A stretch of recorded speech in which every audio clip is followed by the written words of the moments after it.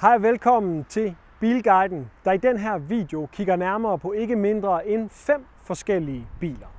Fordi øh, når jeg hører jer derude øh, sådan skrive, hvad I godt kunne tænke jer, så eller jeg kan i hvert fald se, at det mange godt kan lide at se, det er de her sammenligningsvideoer af forskellige biler, bilmodeller. Og ideen er jo, at de her biler i dag fås brugt til omkring 200.000 kroner. Du kan selvfølgelig finde en, der er lidt nyere, der koster lidt mere. Du kan finde en, der er lidt ældre og har kørt lidt mere, der er lidt billigere. Men sådan cirka i det her leje af 200.000, der finder du alle de her fem biler bag mig. Og de fem forskellige elbiler, vi skal omkring i videoen her, det er nogle af de mest populære på markedet i det prisleje her. Det er en VW ID3, det er en Tesla Model 3, så er det en Renault Megane E-Tech, så er det en Mini Cooper S, og så er det en Peugeot E208. Nu har jeg lige præsenteret de fem forskellige biler her, og derudover så kommer jeg til at selvfølgelig nævne noget omkring pris og årgang på bilerne her. Det kan svinge lidt. Der er også noget med størrelsen og hvorvidt de må have noget på anhængertrækket, der varierer. Så er der noget med drivlinjen, batteriet og rækkevidden. Jeg selvfølgelig også kommer til at sammenligne på de fem biler her. Så er der noget omkring rækkevidden, når det bliver koldt, og der kommer jeg også til at komme ind på nogle af de her rækkevidde-tests, der er af bilerne om vinteren, fordi hvordan varierer det fra model til model her. Det kommer jeg også ind på. Så kommer jeg selvfølgelig til at kigge lidt på udstyrsniveauet i de fem biler her. Hvordan varierer det fra model til model. Vi kommer også lige til at kigge ind i bagagerummet på bilerne her og putte en barnevogn i og se, kan den så være i de fem biler her. Og så sidst, så kommer jeg selvfølgelig til at lige at lave en lille opsamling af de her fem biler.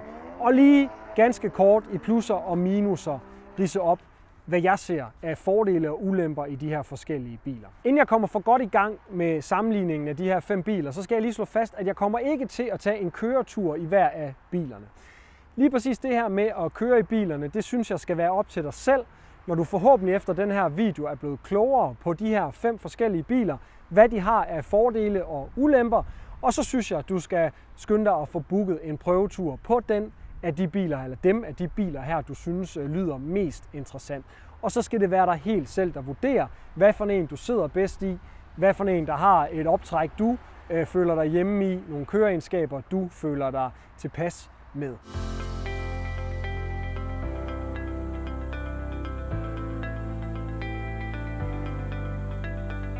Det her med at sammenligne forskellige øh, bilmærker og bilmodeller i samme størrelsesklasse, det er jo en lidt utaknemmelig opgave, fordi nu har jeg valgt fem ud, men øh, I kan helt sikkert finde de første 5-10 andre modeller, der også kunne være interessante at have med i den her sammenligning. Nu har jeg lige været heldig, heldig at finde øh, fem af dem her i Bilernes Hus i Silkeborg og kunne samle dem ved siden af hinanden. Og faktisk så øh, den Megane E-Tech, jeg havde regnet med at skulle have med i videoen her, den er blevet solgt. Så øh, nu har jeg måttet parkere min egen i midten. Det er derfor, det er den eneste, der har nummerplade på. Øh, og også er lidt beskidt i øvrigt i forhold til de andre, men det må I leve med. Den er i hvert fald her bagved, øh, sammen med de fire andre. Det er jo ikke en bil, der har været i Danmark og generelt på markedet. Øh, så længe den er øh, ældst, så finder du dem tilbage fra 2022. Og, øh, og de er altså stadigvæk ikke helt nede og ramme de her 200.000 kroner, som jeg ligesom har sat som for, forudsætning for videoen her. Så allerede der, der går jeg lidt ud af, af min ramme for videoen, fordi øh, den, jeg har stående, altså min her bagved, den ville nok øh, selv med de 35.000 kørte kilometer, jeg er i den, så, så kan den nok nærmere op i 230-240.000 kroner, i hvert fald i mit udstyrsniveau. Men vi snakker ganske kort tid, så er jeg helt sikker på, at der også vil kunne fås Megane E-Tech herhjemme til omkring 200.000 kroner. Så derfor har jeg valgt at tage den med i videoen her. Det var lidt omkring årgang og prisklasse, så altså bare have i baghovedet, at øh, bare fordi jeg siger 200.000 kroner, så kan det sagtens være, at du både kan finde nogen på bilbasen, der koster 230, 40, 50.000. Du kan måske også finde nogen af de her modeller, der er nede og ramme 150 160-170.000 kroner i stedet for. Så det er et stort spekter, og det kommer jo meget an på, som jeg er inde på, udstyrsniveau, kørte kilometer, årgang. Og så er der jo altså lidt omkring størrelsen på de her fem biler, fordi de øh, koster godt nok nogenlunde det samme som øh, brugt, men øh, som jeg var inde på, så er der jo forskel på alderen, der er forskel på kørte kilometer for at ramme det her nogenlunde samme prisspekter. Og der er også forskel på størrelsen, og det er sådan set helt bevidst. Fordi øh, det er også for at give jer en idé om, jamen har man de her, har man sat et budget på, på cirka øh, 200.000 kroner, jamen øh, hvad kan man så få? Der er ingen tvivl om, at den største, og det kan I også øh, se her bag mig, den der strider mest ud bag til, det er Tesla Model 3, der er 4,7 meter lang. Så kommer ID3'eren, den er 426 cm øh, lang, altså knap 4,3 meter. Så er der Meganen, den er 4,2 meter. Og så kommer der altså nogle lidt mindre biler i Peugeot E208 med 405 cm, og så Mini Cooper S1, der har 300, en længde på 385 cm. Så der er et stort spænd, faktisk næsten på en meter, på, øh, på, de to, øh, på de fem biler her. Øh, men det er sådan set også helt bevidst, fordi kigger du i det her prisleje, jamen øh, betyder pladsen rigtig meget for dig, jamen, så er det klart, så er øh, Tesla Model 3 den, hvor du får mest plads for pengene. Modsat, så kan det godt være, at du ikke har behov for pladsen, og så vil du måske hellere have en øh, bil, der skiller sig lidt, sig lidt ud som Mini Cooper S1, eller en meget nyere bil, som du så kan få i Peugeot E208. Så det er sådan for at give dig en lille idé om, jamen har man det her prisleje at gøre med, at det budgettet, jamen øh, så kan man enten vælge en meget ny bil, øh, eller øh, er pladsen vigtigere, jamen så går du måske lidt på kompromis med alder og kilometer. Til gengæld så kan du altså faktisk også godt få en Tesla Model 3 årgang 2020 eller 2021, Øh, alt afhængig af kørte kilometer, for de samme penge. Og når vi lige er ved det her med sammenligningsgrundlaget i forhold til forskellige modeller og mærker, så er det også lige værd at få med, at for eksempel VV ID3 her bag mig jo deler samme platform og batteri og, og specifikationer med Cupra Born. Så, øh, så den kunne egentlig også lige så godt have været med her frem for en ID3. De er forholdsvis og ret sammenlignelige på nær selvfølgelig noget ydre design og nogle enkelte øh, få centimeter i målene. Men ellers så er øh, drivlinjen den samme. Det samme gør sig gældende ved Peugeot E208. Det er øh, samme drivlinje og platform, som du kan få i Opel E Corsa. Så der er noget der, der, der går igen på andre modeller fra andre mærker, og sådan er det jo med de her øh, bilmærker, at de øh, leger lidt bytte købmand med hinanden, og det gør også, at, øh, at når man har kigget på, på typisk en model, jamen så kan du faktisk godt finde andre bilmærker, der har øh, samme drivlinje. Når jeg nu har valgt fem biler her, som spænder lidt i alder, helt nede fra 2020 og op til 2023, så giver det også sig selv, at, øh, at der er noget, der kan have ændret sig på de her modeller. Fordi de kommer jo typisk efter en 3-4 år i det, man, man typisk kalder et facelift, og der sker jo altså øh, typisk et eller andet med designet, og måske bliver der også opgraderet, når vi snakker om elbilerne her, lidt på batteri og rækkevidde. Når man overgår til modelår 2021, jeg tror det er fra oktober 2020, jamen der kommer Tesla Model 3 i en opgraderet øh, udgave, hvor at øh, man får lidt mere rækkevidde, der kommer varmepumpe i bilen, der kommer også elektrisk bagklap. Der er så nogle ting, der bliver ændret der. Og øh, når man så er tilbage og kigger på en brugt bil, jamen, så er det jo heller ikke helt ligegyldigt, om man kigger på en Model 2020 eller en Model 2021. Er det vigtigt for dig at få flest kilometer ud af rækkevidden, eller kan du nøjes med et lidt mindre batteri, fordi du måske ikke hver dag skal pendle specielt langt, jamen så kan du måske også komme øh, til en nyere bil, en mere moderne bil, mod så at gå lidt på kompromis med batteristørrelsen. Der er også nogle af de her elbiler, der både fås med et lille batteri og et større batteri, og øh, det kan selvfølgelig gøre noget for brugprisen især, men, men det er jo så også der, hvor man, når vi ellers kommer ned i det her leje, faktisk godt kan, kan, kan finde nogen, der er med det store batteri, inden for pris, øh, inden for det budget, man har på, lad os sige de her 200.000 i det her tilfælde. Det kan også være, at du jo så hellere vil altså fortsætte med de 200.000 selvfølgelig, men egentlig bare have en, en mere moderne, en nyere udgave. Så, øh, så det er det, du skal afveje meget i forhold til rækkevidden. Og hvordan ser den så ud på de her fem biler? Lad os begynde med Volkswagen ID3, der i den, jeg har med her, er sådan en Pro Performance udgave. Den har et batteri netto på 58 kWh, den har en opgivet rækkevidde på ca. 420. Den yder 204 hestekræfter og har baghjulstræk. Og så har den en øh, opladning øh, med AC på 11 kW og lynladning DC med op til 125 kW. Så er der Tesla Model 3, og i det her tilfælde der er det en Standard Range Plus, jeg har med her.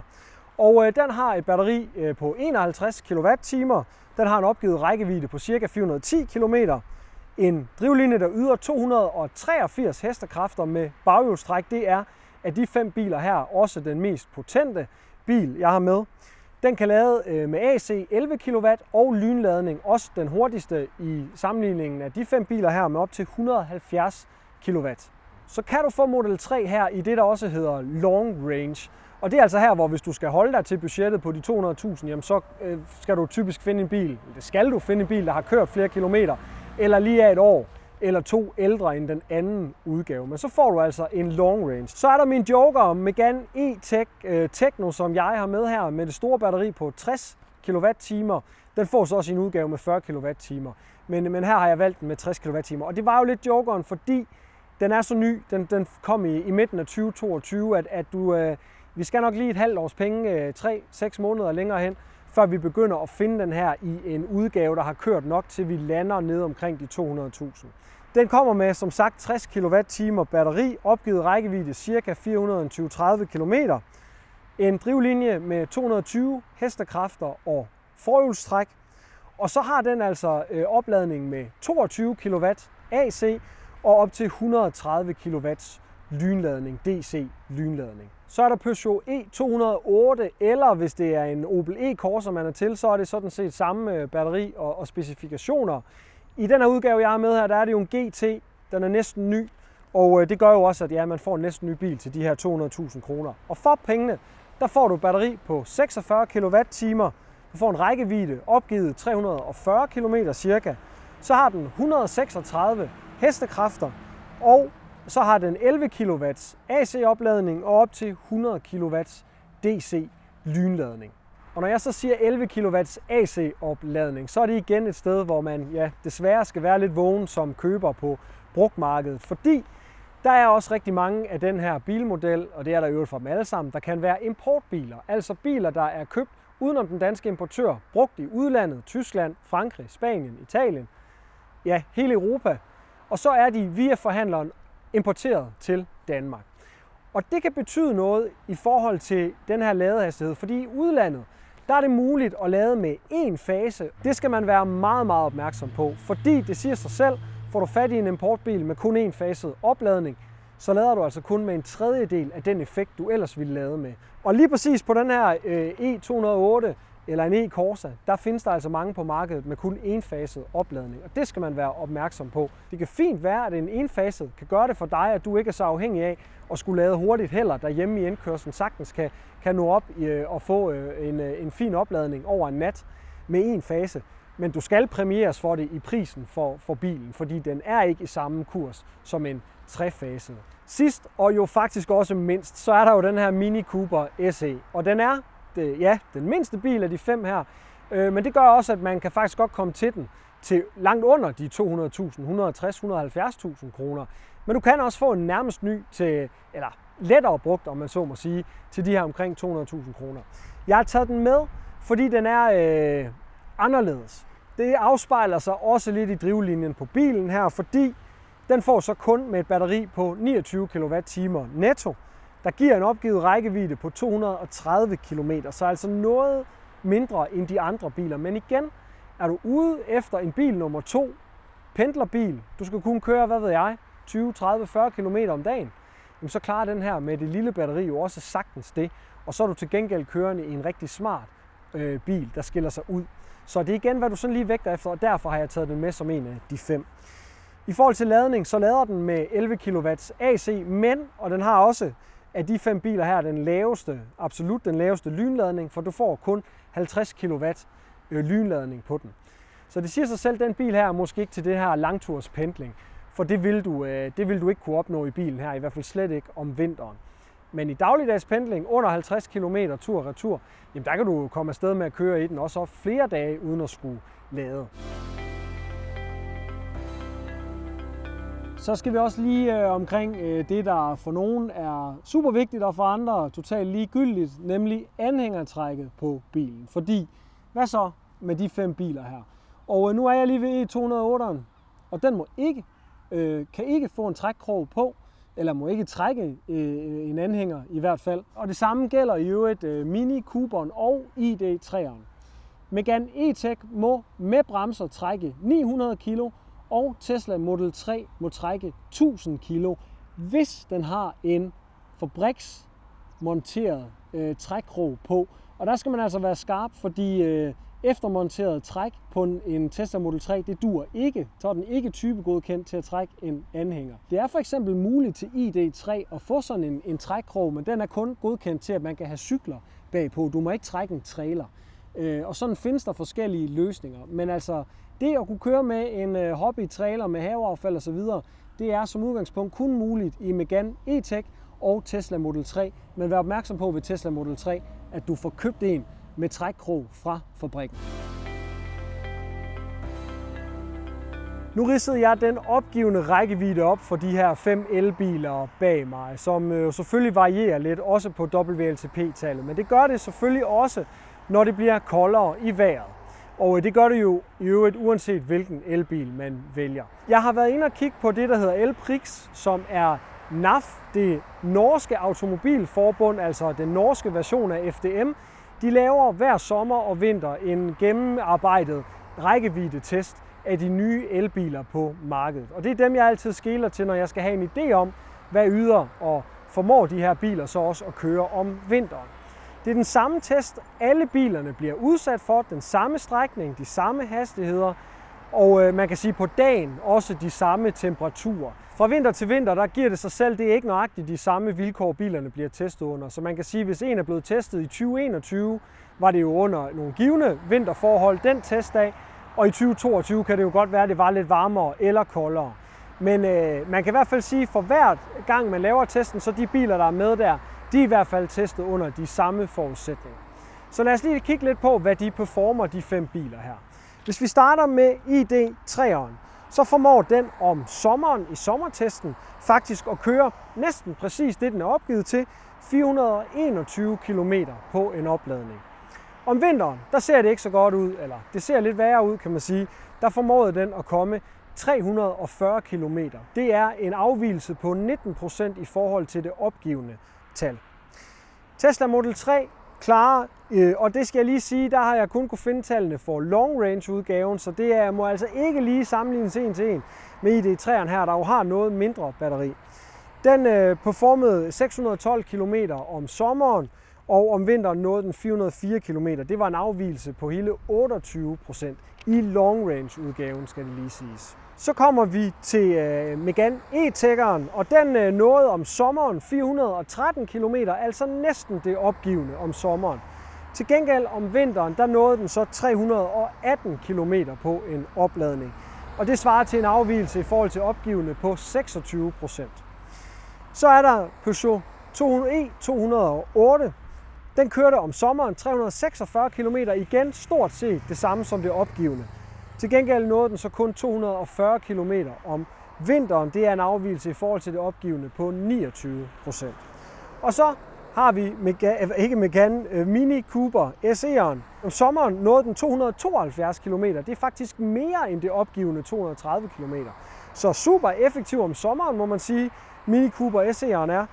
Og så om vinteren, jamen der nåede den 173 km på en opladning. Og det er en afvielse på 25 procent i forhold til det opgivende. Så man kan sige sådan generelt om de fem biler her, der formår de jo faktisk om sommeren at leve op til de opgivende rækkevidder. Og om vinteren, jamen der svinger, øh, hvad kan man sige, det de når øh, i forhold til det opgivende på de her mellem 19 og 28-29 procents afvielse. Så altså næsten en tredjedel af rækkevidden ryger, når det bliver øh, vinter. Og øh, det skal man altså bare regne med. Sådan er det. Og det er også der, hvor det jo selvfølgelig er vigtigt at have det for øje, når man kigger på de biler her i forhold til, hvad de er opgivet til at rækkevidde, og hvad du har behov for at kunne komme og pendle hver dag om vinteren.